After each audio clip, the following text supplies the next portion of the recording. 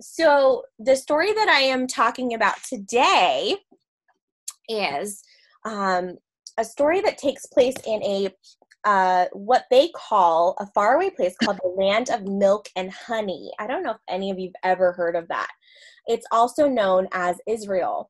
They call it the land of milk and honey because it's abundant. There's a lot of stuff that they that they're able to produce there. And the story that I'm talking about today is about um, some ladies who actually grow their own food. So something really, really important is happening to the people who are from there right now. Um, they it's the Jewish holiday of Passover and on the last night of Passover, there's a big, big, big meal called the Seder dinner. And Christians call that the pass, uh, the last day of Passover, Maundy Thursday. That's when Jesus would have had his last supper before Easter. So I thought this was a really good time to read this story because a lot is happening in the land of Israel right now. So I thought I would read this story about a Jewish woman and her best friend who's actually a Muslim woman. They all they both live in Israel and they both practice mm. different religions. But that's okay because they respect each other and they care about each other no matter what, no matter what their differences are. So this story is called Yaffa and Fatima, Shalom, Salaam, and they say peace in different ways. Okay, so Yaffa is Jewish and Fatima is Muslim. Yaffa is wearing blue. So you'll see it's like a symbolism. So anytime you see somebody in blue, it represents the Jewish the Jewish woman. And anytime you see something in red, it represents our Muslim friend. Okay? Oh, let's see. Got one more friend coming in. Come on. Well, if you also if you think back about our Hanukkah, celebrations we had in class. Yeah. The games the games were blue, the candles were blue, yes. the trays were blue. It represent yes. it's it's definitely very representative of their of their um of their culture, right? Yeah. Okay. Do this. Alrighty, everybody. Let's see. Wow, look at how beautiful that countryside is and all the different reds and blues you see. In a beautiful land called the Land of Milk and Honey, there lived two neighbors. One was named Yaffa, and the other was named Fatima. See their farms? They live very close together. Yaffa and Fatima each owned a beautiful date grove. During the week, they both worked very hard gathering their dates. On most days, Yaffa and Fatima sold all their dates at the market and were able to buy plenty of tasty food to eat, which they often shared. Yaffa loved Fatima's shawarma, and Fatima loved Yaffa's schnitzel. So shawarma is like a, um, a marinated meat, and schnitzel is a breaded kind of meat. Yaffa prayed in the synagogue, and Fatima prayed in the mosque. These are their holy, where they worship, their holy places.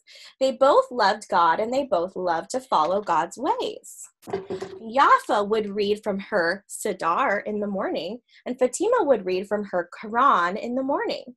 Yaffa fasted on Yom Kippur, and Fatima fasted on Ramadan. So they're very, very similar, right? They have very similar traditions. Fatima celebrated Eid, and Yaffa celebrated Passover, which we were talking about, right? That just happened. When Yaffa saw Fatima, she would wave and call, Shalom, peace. And when Fatima saw Yaffa, she would wave and call, Salaam, peace. They are waving to each other. One year, there was very little rain. Fatima and Yaffa had very few dates to eat or to sell at the market. See? Kind of like going to the grocery store right now. Not a lot of things. so we have to be nice and share, right? Yaffa lay awake at night and she was worried. Maybe my friend Fatima is hungry, thought Yaffa. Fatima lay awake at night. She was worried. Perhaps Yaffa didn't have enough to eat today, thought Fatima. Something I want to note about this is did you notice they were wearing head coverings before? And when they're sleeping, they are not wearing their head coverings. I just thought that was interesting. Fatima placed a basket of dates on her donkey. Then she took them to Yaffa's house. She poured the dates into a basket on Yaffa's porch. So she's sharing with her friend. Meanwhile, Yaffa collected a basket of dates, placed it on her donkey, and carried it to Fatima's house. She poured the dates into a basket on Fatima's porch. See? The two neighbors quietly made their way back home, feeling happy. I really like this picture because you can see them. They're both walking back to their homes at the same time. They were doing something nice for each other at the very same time. In the morning, when Yaffa walked onto her porch, to her great surprise, she saw her basket full of dates. Goodness, I have so many dates. I will take more to Fatima tonight. And meanwhile, Fatima walked out onto her porch and was just as surprised. Goodness, I have more dates than I thought. I will take some more to Yaffa tonight. Oh my gosh, they are so silly. Have you ever done something funny like this with your best friend? Where you're trying to do something nice and they're trying to do something nice for you. Oh my goodness, so silly, so silly. That night, both Yaffa and Fatima loaded their donkeys with dates and set off toward each other's homes. They met just where their fields came together. Fatima looked at Yaffa, and Yaffa looked at Fatima. The two friends hugged each other and laughed. Shalom, said Yaffa. Salaam, said Fatima. Thank you for thinking of me, said Yaffa. Thank you for thinking of me too, said Fatima. Together they returned to Yaffa's house to share a meal of dates and tea. I really like that story because I think it's nice to think about things that you can share with your friends or something nice that you can do for them, right? It was good artwork. Yeah, Nice artwork. I love that book. So let's see, what time is it?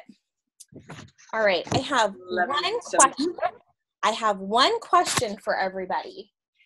So we will go through my little list here and see. All right. So my question for you all today is what is one nice thing that someone else has done for you this week?